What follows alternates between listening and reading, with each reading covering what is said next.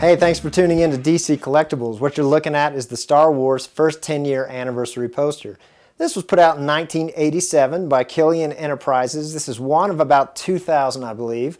They, uh, this is on silver mylar, which is a material used to make posters not too often because it's, pretty difficult process.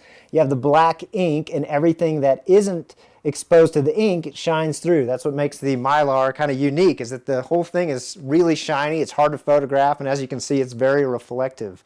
They also made a version in gold Mylar for the UK. There was only 50 of those.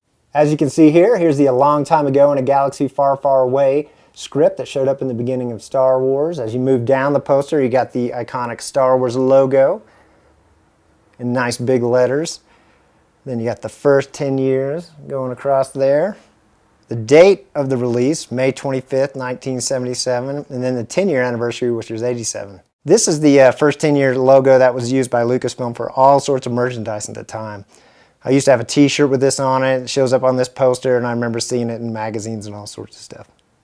Down here, you got 1987 Lucasfilm Limited.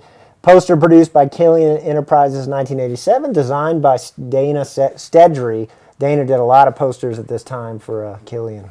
Great stuff.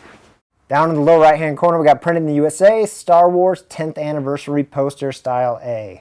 That's pretty much all there is to this poster. As you can see, it's very reflective. When I move it at all, it just glistens and shines, so it's very hard to photograph, but I hope you enjoyed it, and thanks for tuning in.